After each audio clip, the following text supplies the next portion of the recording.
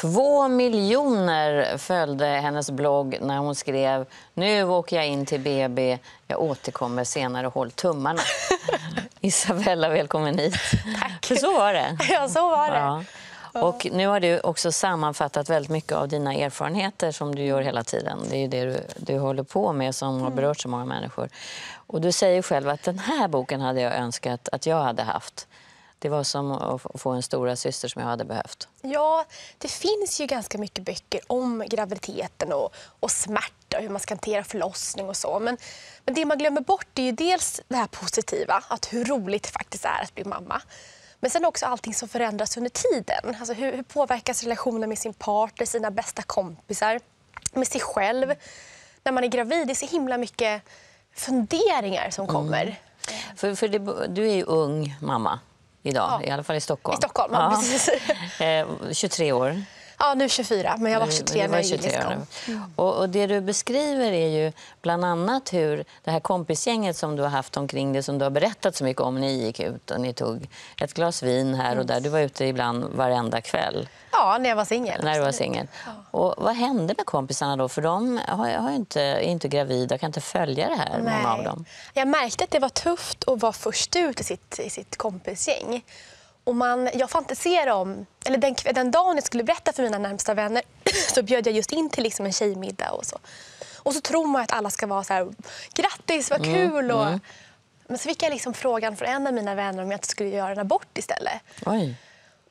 Och det var liksom tufft och jag tror att det, det jag märkte det när man berättar för folk att man väntar barn. att Man får inte alltid de reaktioner som man vill ha och det är jättejobbigt.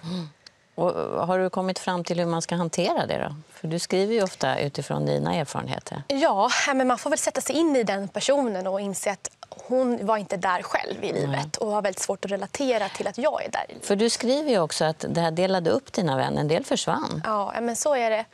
Och det är någonting jag pratar med andra mammakompisar att just när man får barn så vet man vilka som stannar. Eh, det är absolut inte alla, utan relationer ändras. Ibland när du eh, bloggade, framförallt i början, så fick du kritik för att du målade upp bara en sån fantastisk värld. Och det fanns ingenting som var problem och, fel med någonting. Och här är det precis tvärtom. Här är du både och för sig. Men, men du är väldigt ärlig och uppriktig. Ja, men jag är, alltså, jag är ju ärlig och uppriktig egentligen med allt. Men jag har berättat om mobbning och trasslig barndom och akne och liksom hela det köret. Eh, Men jag tror att folk ändå upplever att allting går så himla bra hela tiden. Så man glömmer liksom bort det här.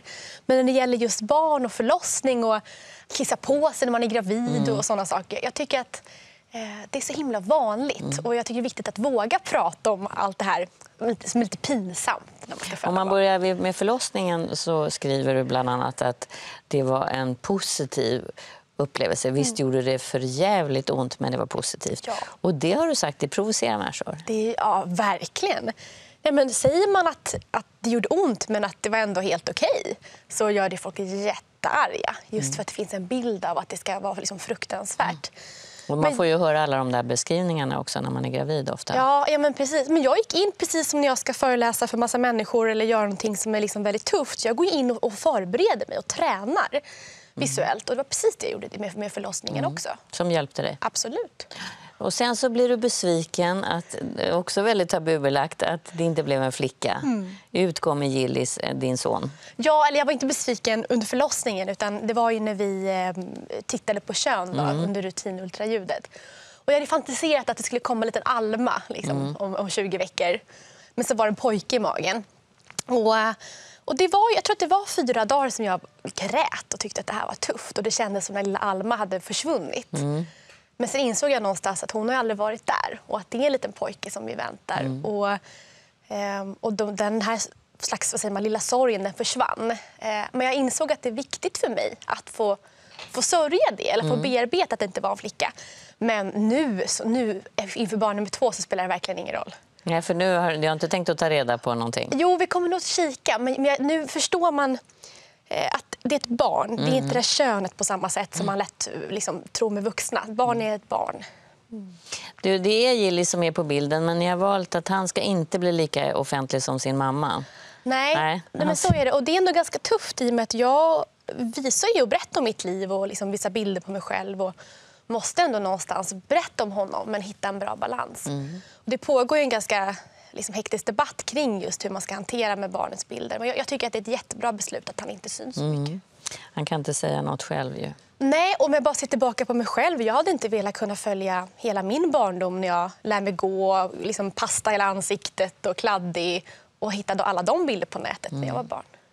Du, Odd, det är din man. Ja.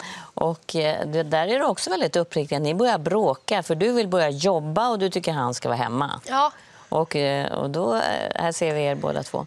Men då blir du jättearg. Ja, men jag tycker, varför kan inte han vara hemma första halvåret? Mm. Jag har ju liksom en karriär som håller på. Och, men ganska snabbt när jag fick, jag fick barn så kom det här biologiska. Att, Mm. nej, men jag ville vara hemma. Och det var, mammaledigheten var mycket, mycket bättre än vad jag trodde att Mm. den skulle vara. Hur länge var du hemma då? Ett halvår. Mm. Men jag jobbade ändå med bloggen varje dag och tog något möte i veckan. Mm. Och sen så eh, tog och tar pappa över nu. För Odd har tagit över Mm. Ja, han gick på pappaledighet i maj och är det till februari. Så han har gått längre än vad jag har. Och det var helt okej i er relation? Ja, Men när det bråkar klart? Ja, nej men, nej, men inför barn nummer två så kommer jag nog vara hemma mer än honom. Så vi får liksom turas om lite så. För du har ju haft otroligt många företag och fortfarande är det en hel del kvar. Ja, Men du har dragit ner lite på tempot ändå. Ja, man in, speciellt när man får barn så inser man det att det måste vara värt att lämna hemmet. Känner jag. Att det är inte värt att åka liksom någonstans till en stad någonstans och göra någonting för lite betalt och vara borta från min son ett dygn. Alltså det måste ju vara någonting som, som, som ger mig pengar. Så du har lärt dig säga nej? Ja, och lära mig säga nej men också ta betalt. Och det är nog jätteviktigt för alla kvinnor som driver företag. För man är oftast dålig på det. Hur många har du nu då?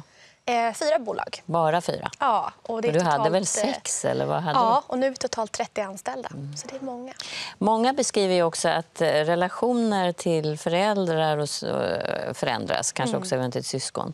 Och bland annat skriver du om din mamma, att det blev, du förändrade din relation till henne, vilket är rätt vanligt. Ja, nej, men man, vi hittar väl en slags ny relation tror jag ihop. Eh, hon hittar väl, eller för hennes del tror jag att det var ett sätt att, um, att hitta en relation som mormor. Att alltså, börja om på nytt lite grann. Och det var nog sunt för oss två. Så allt det där man har haft som man inte tyckte så bra om kan man få en ny Ja, chans. det går att börja om. Och det är någonting som ju många beskriver också, att det plötsligt så blir en helt ny länk mellan Mm. Mor och dotter kanske väldigt mycket. Du, eh, när det gäller dina företag och hur du jobbar, eh, det är ju många som säger att jag får inte på livet att gå ihop. Ja, det går inte ihop. Nej, det går inte ihop. Och det erkänner du också. Har du några tips på hur du gör till de som är barnlediga nu eller föräldralediga och sitter och tittar? Ja, förut så tänkte jag att, så här, att jag, varje dag ska jag prestera bättre än dagen för, förut. Och den logiken är bara att lägga ner när man får barn. Utan nu är mitt nya mantra att göra så gott jag kan varje dag.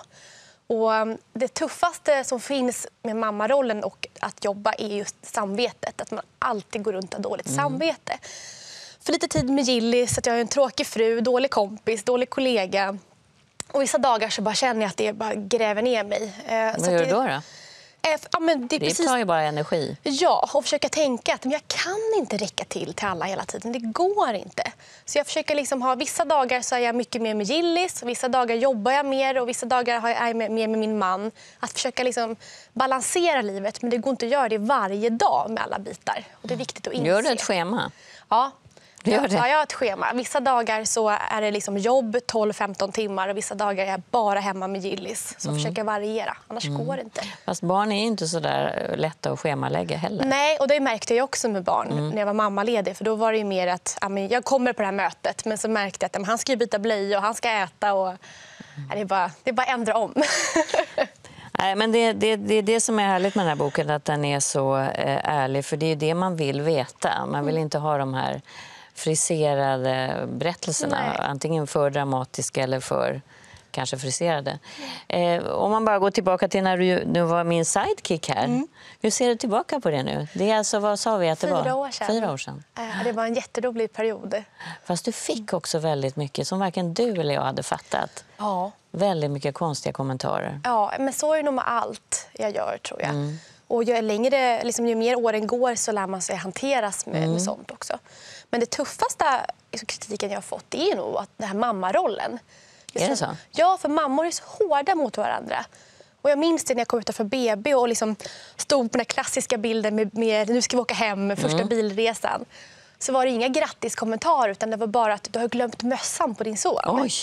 Nej, det var i november. Det är sant? Ja, det var tusen kommentarer och det handlade om att de skulle anmäla mig. Tusen som tyckte att du borde haft mössa? Ja, och de skulle anmäla mig till socialen för att jag inte kunde hantera barnet och glömde mössa på honom mitt i vintern. Vad tänker du om, om den typen av kommentarer och reaktioner? Jag först tänkte att oj, jag glömde mössan. Det här måste jag ju lära mig. Mm. liksom. Eh, men sen inser jag att eh, mammarollen är känslig. Mm. Det är jättekänsligt. Och jag, jag, lärde mig ganska snabbt att jag måste stålsätta mig och, och inte lyssna på alla andra. Utan jag måste få, få hitta mig, mig, själv i mammarollen först och bli trygg i den. Innan jag kan Vad gjorde du? Stängde du av din blogg ett tag? Då? Nej, men jag undvek väl att eh, liksom, om jag berättar kanske allt i början just för att mm. jag skulle bli trygg med amning och få allting att funka. Vad är det mer för kommentarer som du har fått som där just kvinnor är hårda mot varandra? Men det är allt. Just amning är väldigt känsligt. Hur, för jag började med ersättning varvat med amning hela tiden just för att jag behövde gå iväg ibland. Eh, det är väldigt hårda pekpinnar på hur man ska hantera mm. det. Jobba. Att men, du börjar jobba för tidigt? Ja, men också valet av vagn. Det var väldigt känsligt mm, vilken vagn man skulle okay. ha. Eh, men, och sen, ja, men, ja, det var mycket klädsel. Hur man, så det, alltså, mammor är Eh, det är lite synd, för jag tycker att man borde liksom hjälpa varandra i den här rollen. För alla är Bambi på hal is i början och då behöver man stöd och förlåta varandra hitta sin roll. Men du har fått fler följare ja, sen du fler. blev mamma. Du måste ju ha haft en hel del positiva reaktioner. Fantastiska också. Ja. Och jag har fått mycket stöd och hjälp. Och allt från hur man ska med sömnen i början. Och det finns ju fantastiska människor mm. ute som hjälper varandra. Som har givit dig tips på hur du ska göra? Absolut. Ja, vad, har du fått för sömn... Super... vad har du fått för sömntips? Då? Det undrar alla. Eh, att det inte finns några sömntips. Nej, okay. det är bara att låta det vara och följa med barnets tempo och sova när barnet sover. Mm. Det är väl typ det. Och det funkar? Ja, fast det går ju aldrig sova när barnet sover. För då är man för då börjar du jobba? Ja, exakt. Mm. Du ser i alla fall väldigt pigg ut. Vad hoppas du, den här boken hoppas du ska bli just den här boken som du själv längtar efter? Ja, alltså, vill man ha barn eller vänta barn eller är nybliven mamma och vill ha liksom någon, någon som peppar lite mm. positivt och inte ha hårda pekpinnar om amning och sånt, då ska man läsa boken. Mm. Vad roligt att du kom hit. Mm. Du får komma tillbaka sen någon gång som sidekick. Ja, gärna. Den här boken är sprillans ny. Vi fick den direkt från tryckeriet faktiskt. Så det är roligt att se. Ja, hemskt kul. Lycka till. Och så får man ju säga, önska dig lycka till också mm. eh, när det gäller din, ditt nästa barn som du faktiskt har i magen här. Det kommer i början på, eller mitten på nästa mm. april. vår. Va? April var det.